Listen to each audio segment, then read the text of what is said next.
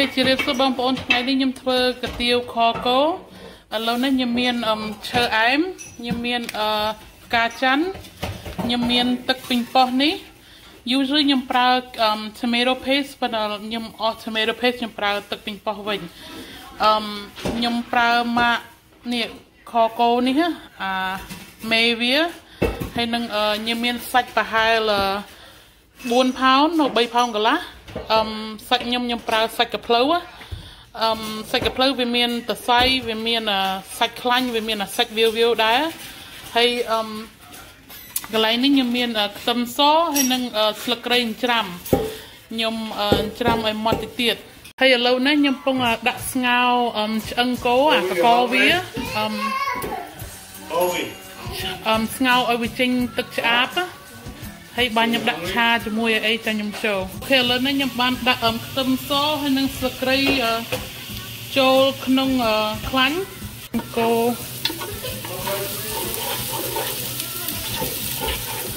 កូវាឲ្យវាឈ្ងុយ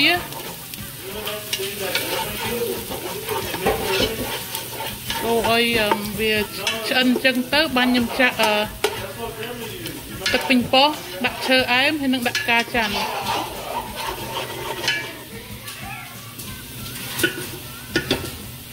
ខ្ញុំបានដាក់ផ្កាច័ន្ទហើយហើយនឹងឈើអែមកូរឲ្យវារៀងនេះទៀតបានខ្ញុំចាក់ទឹកពេញប៉ុត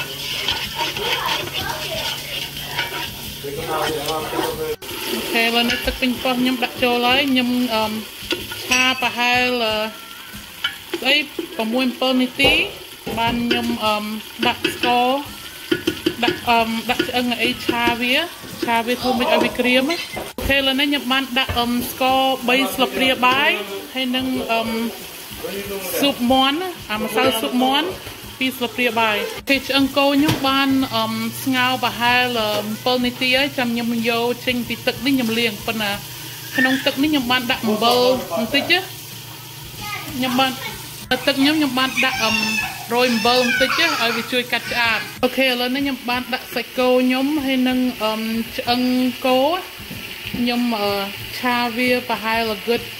30នាទីឲ្យវាចេញទឹកឆ្អាបមកថែមទៀតបានខ្ញុំថែមគ្រឿងប៉ុន្តែឥឡូវនេះដូចខ្ញុំថាចឹងខ្ញុំមានទឹកពេញប៉ោះខ្ញុំឆាទឹកពេញប៉ោះជាមួយអឺឈើអែមផ្កាច័ន្ទហើយនឹងអឺស្លឹកគ្រៃច្រាំហើយនឹងស្លឹកខ្ទឹមសអត់មិនស្លឹកខ្ទឹមទេខ្ទឹមសច្រាំម៉ត់ដូចខ្ញុំចូលពីមុនអញ្ចឹងខ្ញុំឆាដូចខ្ញុំថាចឹងខ្ញុំឆាប្រហែលកន្លះម៉ោងទៅ45នាទីឲ្យវាចេញទឹកកាចចេញមកអស់បានខ្ញុំអឺ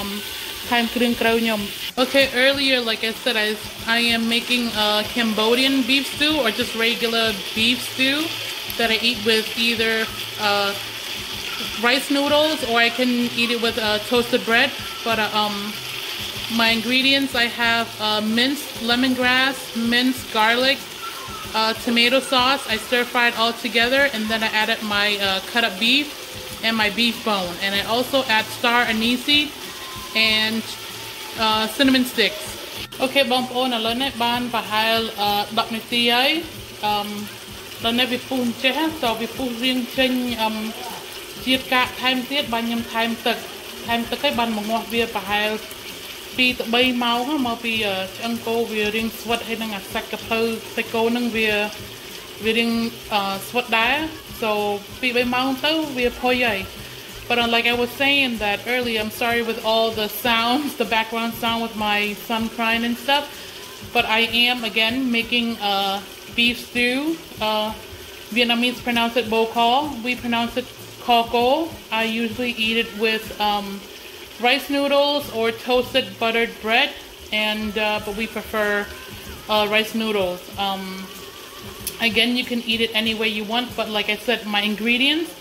I have tomato sauce. I usually use uh, tomato paste,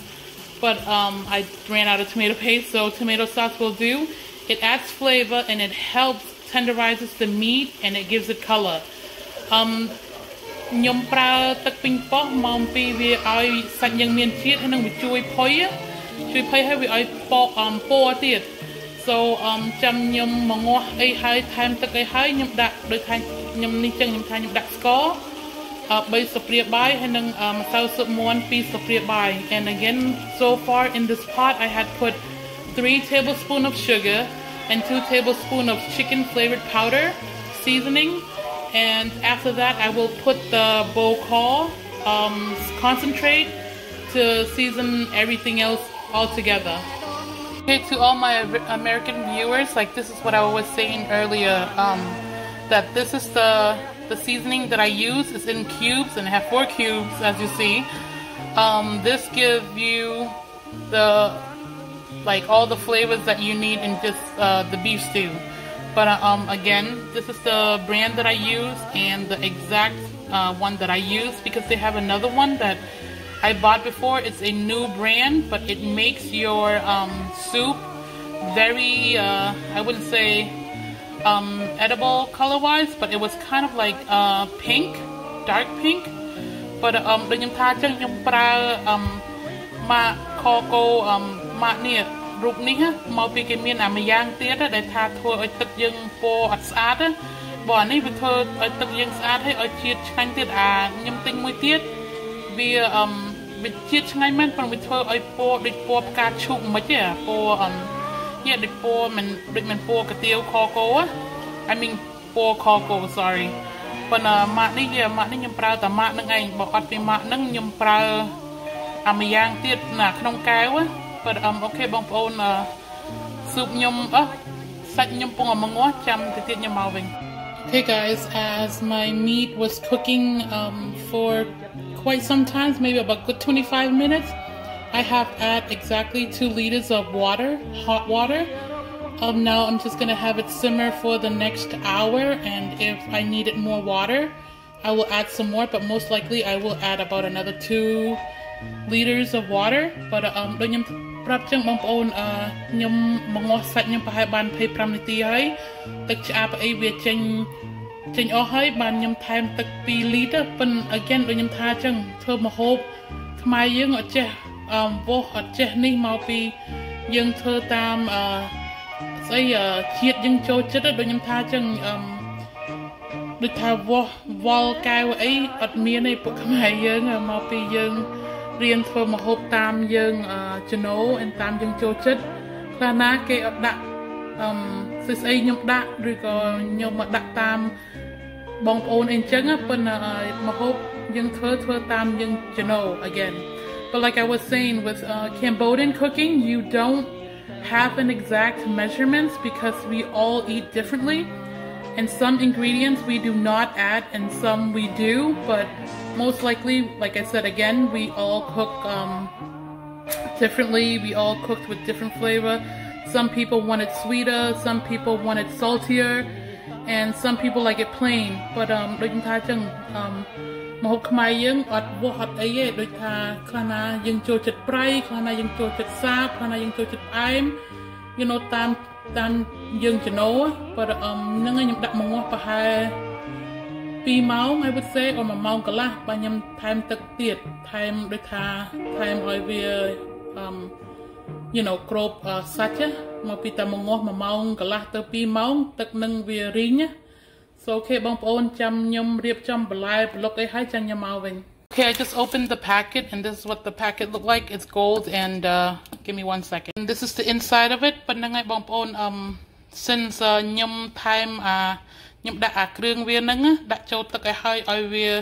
ជាតិនឹងវាចូលណាតោះវាមកងាស់បានយូរទៅដូចថាយើងខ្វះខាតអីយើងថែមពីលើហ្នឹងណា ខ្ញុំដាក់អឹម4គ្រាប់ទៅ6គ្រាប់មកពីសាច់ខ្ញុំច្រើនណាហើយអឹមបន្លែខ្ញុំក៏ច្រើនដែរប៉ុន្តែបន្លែយើងប្រើតែការ៉ុតទេ but like I was saying I'm going to add 4 to 6 cubes because I do have a big pot and um I will start uh you know cutting up my carrots because that is the only vegetable that is going into um this stew and that is the only uh, thing that people usually put but when at the end of the when it's finally cooked uh, you garnish with bean sprout uh, thai basil you know whatever you want to put in there but um i'll be right back okay now that i have added my six cube of bokal um beef stew concentrated cubes i will have it simmer for an hour to an hour and a half uncovered ឥឡូវនេះខ្ញុំបានដាក់អឺអាគ្រឿងដុំខកោហ្នឹងណា ខ្ញុំដាក់6ដុំហើយលើនេះខ្ញុំដាក់មកងាស់វា1ម៉ោងទៅ1ម៉ោងកន្លះណាប៉ុន្តែខ្ញុំអត់ក្រូបទេ so um ចាំវាមកងាស់ខ្ញុំសាកភ្លោះរសជាតិអីហើយចាំខ្ញុំ show បងប្អូនទៀតអូខេបងប្អូនឃើញអាដុំនឹងវាលលាយទៅវាមានអានេះអាទឹកក្រហមហ្នឹងអាទឹកពណ៌ទឹកក្រូចហ្នឹងឃើញទេវាមានអញ្ចឹងទៅវាជួយអាហ្នឹងដែលថាជាតិយើងត្រូវការ but as I said uh, the cubes the cubes that had dissolved you see the color up here that dark orange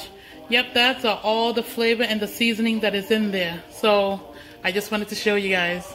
ខ្ញុំភ្លេច អឺមកថតប្តីខ្ញុំកាត់ដើមឈើគៀនទេហើយដើមឈើធ្លាក់លើលមៀលពេញហ្នឹងឯងប៉ុន្តែអានោះដែលថាផ្កាកលាបខ្ញុំ record កាលថ្ងៃ Mother's Day គេថាកូនស្រីខ្ញុំទិញមកហើយនឹងនឹកដើមផ្កាម្លិះហើយនេះដើម gardenia I think ខ្មែរយើងហៅផ្កាសួនខ្ញុំអត់ស្គាល់ឈ្មោះពិតប្រាកដទេប៉ុន្តែដល់នេះបានលាស់ធំខ្លះហើយអូ gardenia មិនរុះអំរុះស្លឹកអស់ចឹងស្លឹកដល់អត់ថ្មីទៅបិទវានេះ You would down the window. The white one. Oh, the gardenia? Yeah, one on the floor right now. Oh, reach. អូនេះដែលថាយ៉ាអូសឹកទឹកនេះដែលថាផ្កាសួនហ្នឹងអា gardenia ហ្នឹងណាដែលថាអឺកូនស្រីខ្ញុំវាទៅទិញយកមកដាំកាលថ្ងៃ Mother's Day ហ្នឹងឃើញដោះមួយនឹងឯងឥឡូវដោះមួយនេះក្តឹបច្រើនដោយសារខ្ញុំមកខិតទៀតអត់ក្តឹប ណាដើមឈើ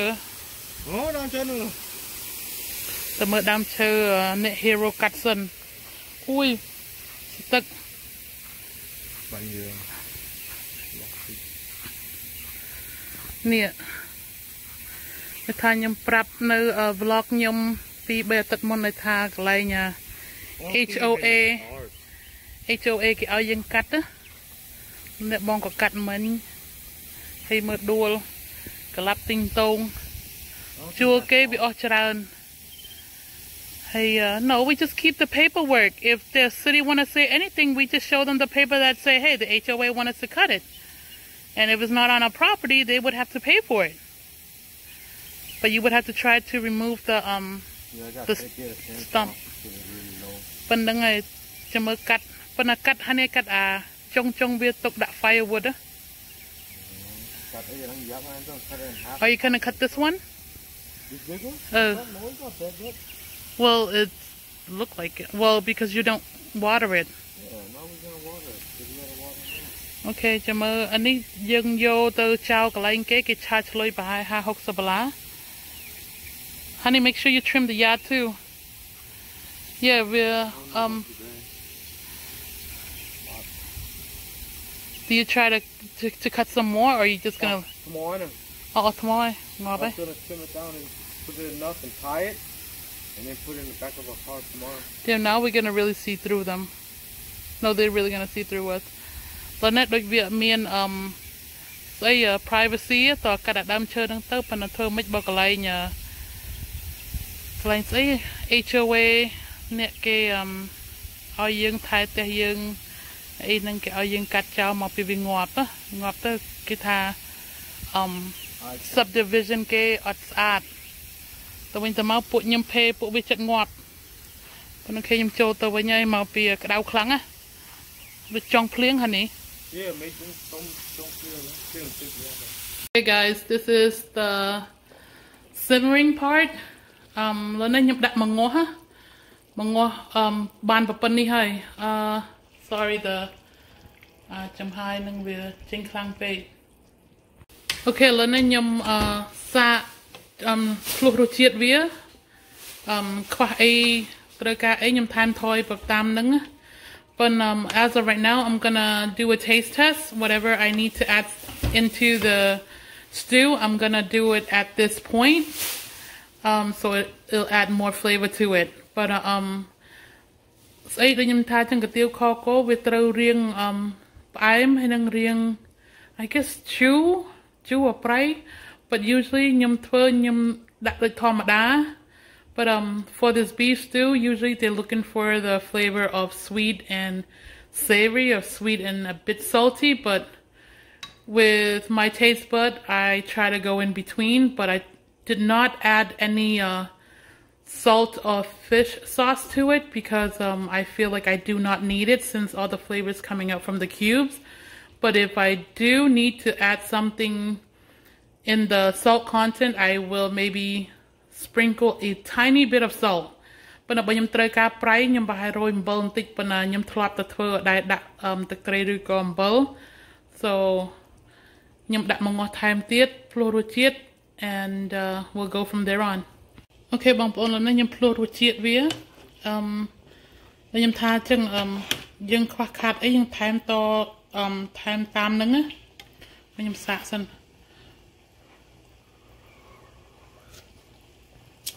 Okay perfect so ខ្ញុំធ្វើមិញហ្នឹងខ្ញុំដាក់ a total of 4 liters of water ខ្ញុំដាក់ទឹក4 liter ហើយនឹងស្ករខ្ញុំបានដាក់អឺ 4ស្លាបព្រាបាយហើយនឹងអឺម្សៅស៊ុបសាច់មាន់ខ្ញុំបានដាក់3ស្លាបព្រាបាយប៉ុន្តែអំបិលហើយនឹងអឺអឺទឹកត្រីអីញបានដាក់អីមកពីវាមានជាតិណាក្នុងដុំខកោហ្នឹងណា so as I was saying I used four about four liters of water and um, I use uh, four tablespoons of sugar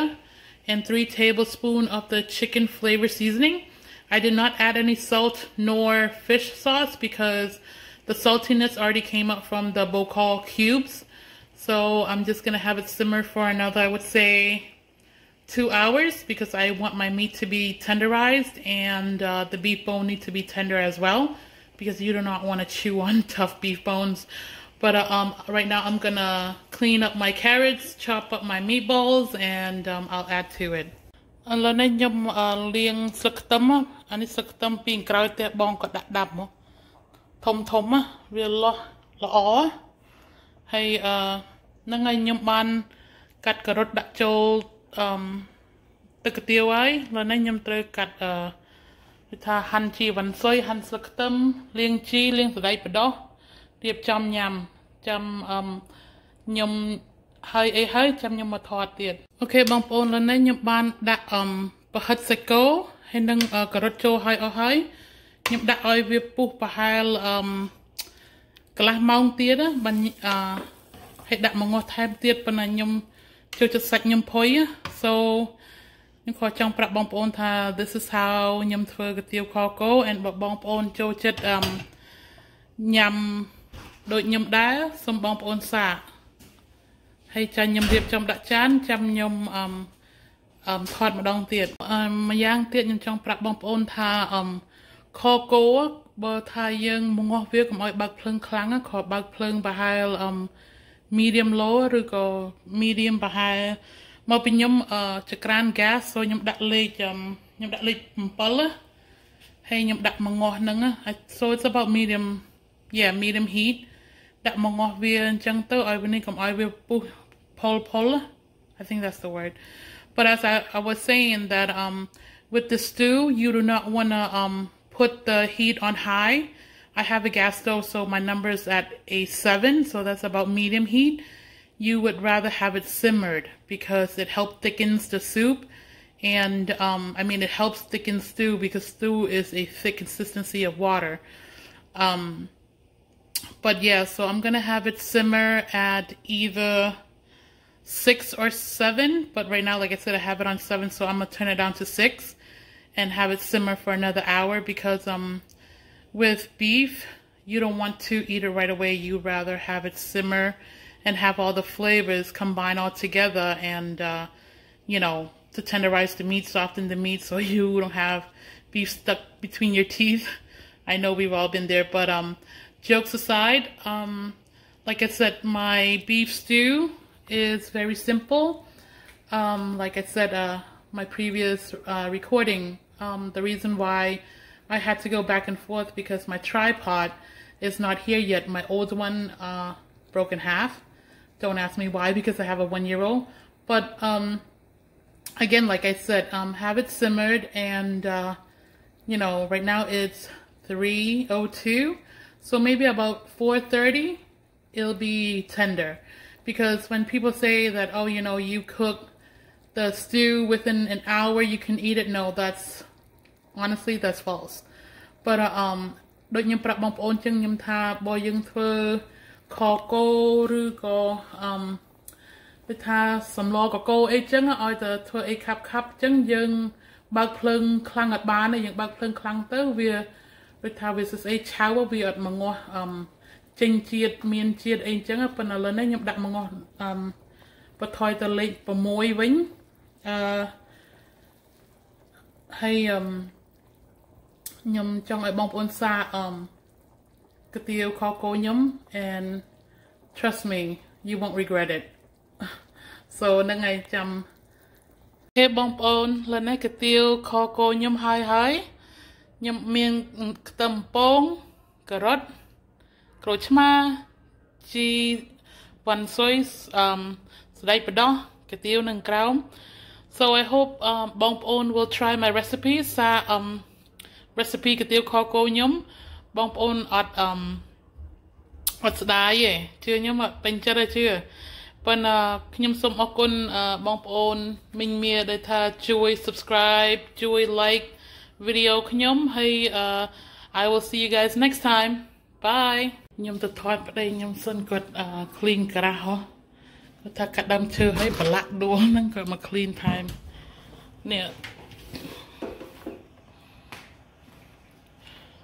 ឃើញគាត់ clean តែមិន start មិញប៉ុន្តែមិនដឹងខ្លាចភ្លៀងហ្នឹងនេះអត់ដឹងប៉ុណ្ណាអីប៉ុណ្ណាអត់បានប៉ុន្មានអីប៉ុន្មានទេចាំមើលសិន Cut off. What?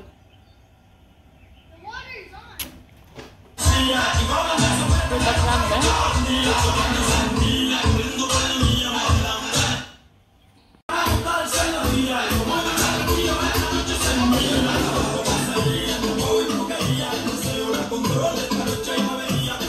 ពីនេះមួយ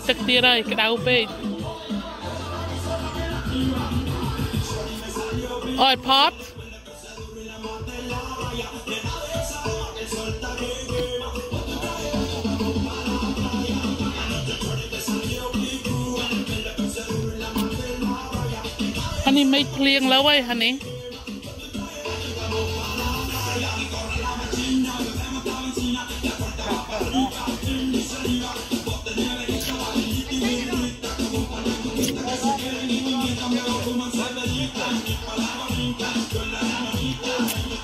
I got blow it on. You gonna stand and blow it. You gonna blow it. You gonna run the sprinkler. Babe, it's gonna stop playing. Okay, bong. I am gonna end my video for this vlog. Um, so, so bong on uh, took. Everybody have a well week, and uh, I will see you guys on my next vlog. Goodbye.